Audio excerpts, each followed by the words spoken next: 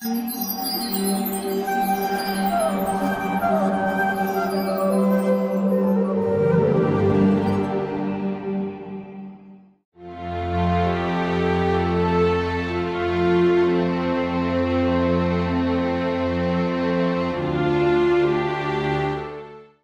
I am going to speak a little bit about one topic that is very usual. Many times we have experienced that uh, why everyone has this question why bad things happen to good people.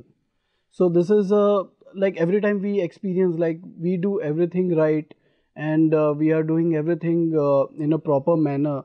So why this bad things are happening with me in my life? So uh, uh, this is uh, this question everyone keeps having this question so for that, uh, I would just would like to say something that suppose, for example, the person is you he used to suppose, uh, for example, he used to smoke a lot, or he used to uh, consume tobacco or something like that uh, for maybe 10, 15 years, and then ultimately he decided that enough is enough, and I should just stop doing this thing. So then, suppose for three, four years he did not do anything, he did not consume uh, tobacco or he did not smoke or drink or something.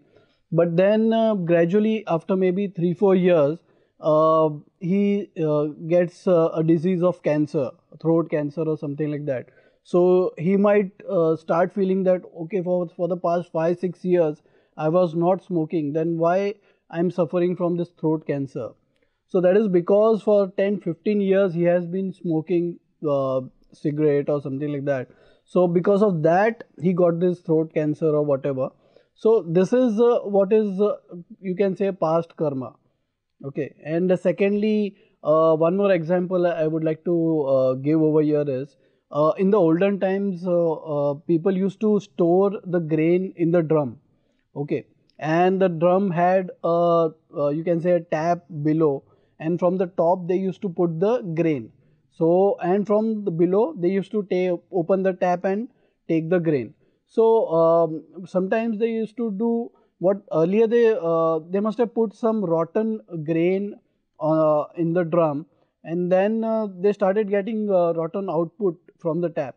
But then later on when they started putting good grain in that uh, and they might feel that why uh, only bad grain is coming from the tap and why i am putting so much of good grain from up upside why why it is like happening with me and why only bad grain is coming down so that is because if uh, the person should continue putting the good grain from up because ultimately when the stock of bad grains is uh, exhausted and all the bad grain has gone ultimately the good grain or crop will start coming from upstairs from that particular drum. So this is the question this is what is happening. See we have uh, taken birth so many million of years and so many time million of births we have taken so this is all because of the past karma that all the karma has gathered. And it is just uh, it uh, gradually means suppose you do some bad karma now it is not necessary that you will uh, suffer the reaction immediately. It may take some time it may take some years it may take some births. Okay. So uh, moral of the story is basically uh, we keep suffering because of the past karma that we have done. The only solution to stop this cycle is to become careful in this birth itself from right now, from this right moment. We, we should start taking care before we do any karma. Okay, and for that, you first you have to uh, decide what is the right karma and what is the wrong karma.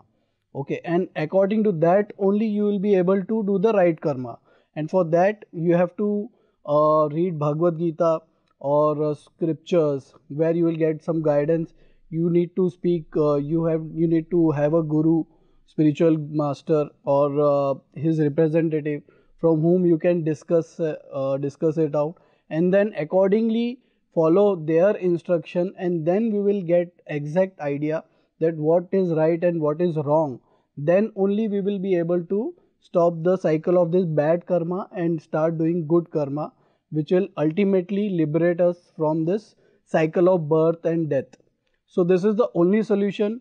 The uh, you may feel that you you may start doing good things for year on year but you may feel, means uh, suffer the bad karma and bad uh, you can say bad luck or hard luck and all that. But that is because of the past karma but gradually you will start getting the good results. So this is the only solution uh, that i feel that you should be following reading bhagavad gita uh, speaking to the spiritual master who will guide you uh, between the wrong and right do's and don'ts okay? It is something like uh, for example uh, this machine of ours that is our body is it is so complex and bhagavad gita is having all the instructions what you should be doing what you should not be doing okay? And but it is very complex. You need a guide who will actually explain what is the meaning of bhagavad gita and how you should be following the instructions. So for that uh, my suggestion is you should uh, first read bhagavad gita. You should visit any of our iskcon temple. They will guide you and uh, you need to speak uh, to any representative of uh, uh, or spiritual master or ISKCON devotee or guru. And then they will guide you and then you will be able to distinguish between bad and good and then ultimately you will get out of this cycle of birth and death. Otherwise uh, this life is full of struggle. And the main misery is our birth death old age and disease.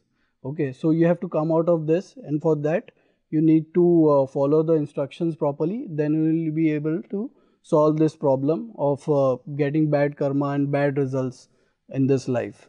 So in this topic i think for the time being uh, i would end over here. So thank you so much for watching. Hare krishna